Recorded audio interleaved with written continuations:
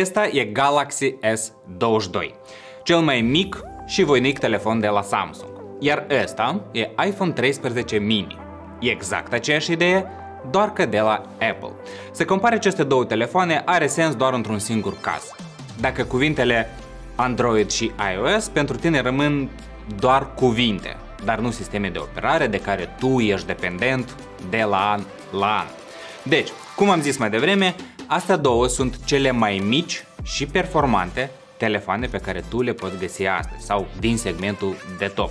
Așa că o comparație între ele, desigur că se cere.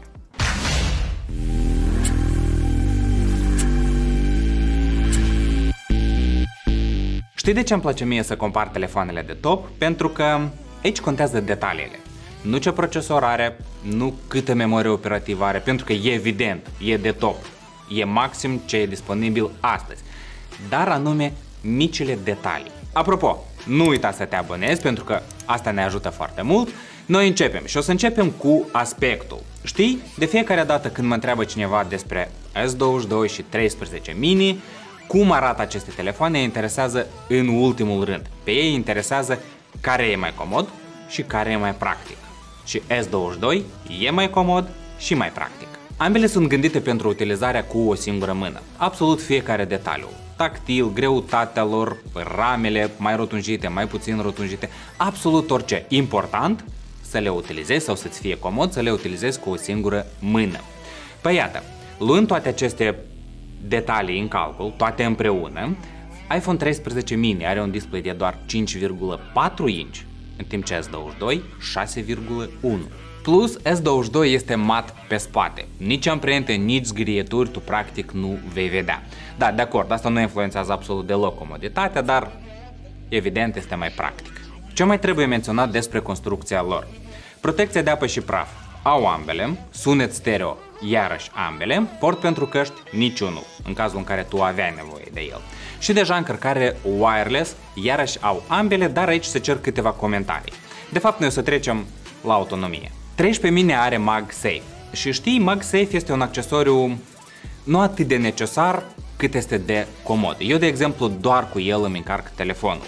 Și uite, cu MagSafe tu primești 15W perfect. Eu, de exemplu, 12 mini pe care l-am eu, mi-l încarc timp de o oră cu el. Exact 15W are și Galaxy S22. Doar că 15W primești doar de la el. Orice alt încărcător wireless vei folosi, vei primi numai 7,5W. Adică în loc de o oră, tu vei încărca o oră 40, o oră 50, în funcție de ce încărcător ai.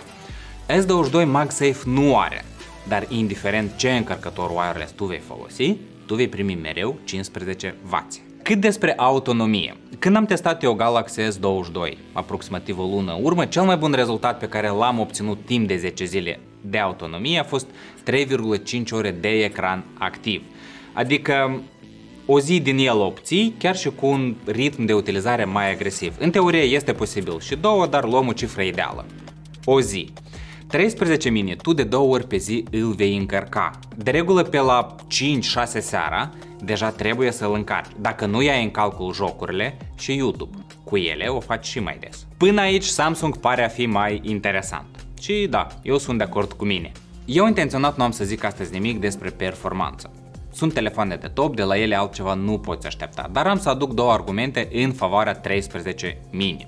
Conform mai multor surse, inclusiv cele oficiale, Orice iPhone, în cazul nostru 13 mini, va primi versiuni noi de soft timp de 5 ani, adică telefonul ăsta va fi actual minim 5 ani.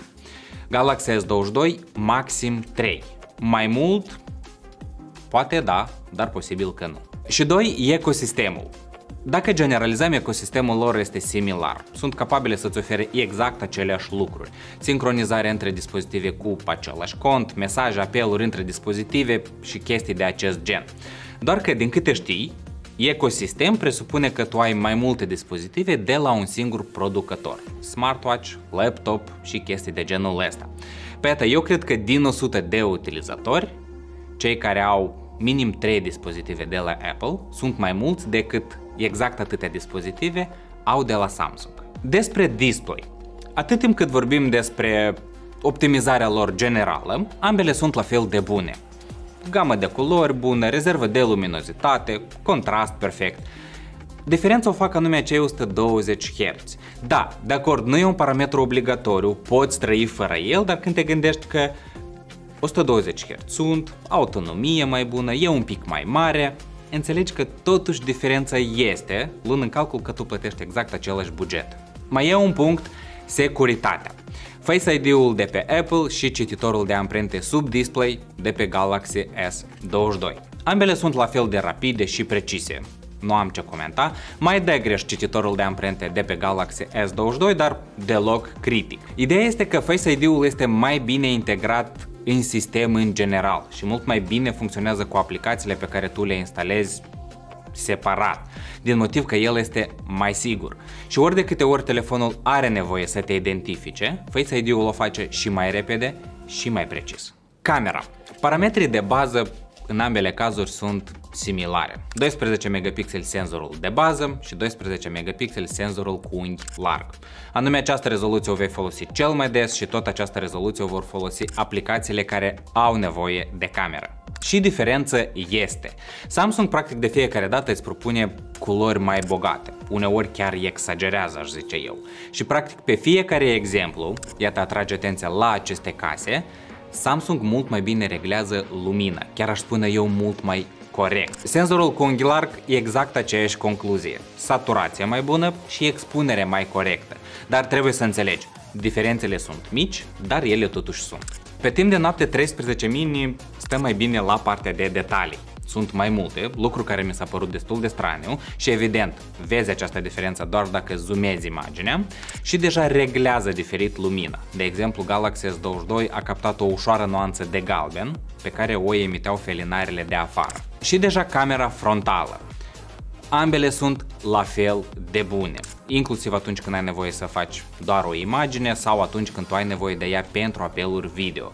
Nu știu cum voi, dar eu, de exemplu, zilnic minim 15 minute pe zi vorbesc cu copiii anume prin apeluri video și acest aspect pentru mine deja este destul de important. Apropo, nu am spus nimic despre video. Desigur, 4K și 60 de cadre pe secundă au ambele. Samsung îți mai propune și 8K cu 24 cadre, dar nu sunt sigur că tu ai nevoie de ele. Singura diferență pe care eu am văzut-o este iarăși în reglarea luminii. Cu asta Samsung se descurcă mai bine. Dar aici comparațiile se termină, pentru că apar în joc detaliile, acele detalii despre care eu ziceam la început. În primul rând, Samsung are un senzor în plus, de 10 megapixeli telefoto, care îți propune un zoom optic 3x. Deja e un avantaj. În al doilea rând, ai acel regim de 50 de megapixeli. Da, el nu cred că tu vei avea nevoie atât de des de el, dar atunci când ai nevoie, tu îl ai la îndemână și din el obții mai multe detalii, lucru util uneori, de exemplu la o post-redactare. Ce vreau să zic în concluzie?